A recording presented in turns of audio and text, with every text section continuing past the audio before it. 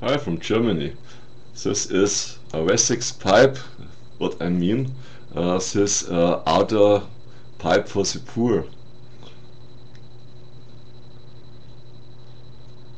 Big, uh, giant XL, very thick, and a big bowl.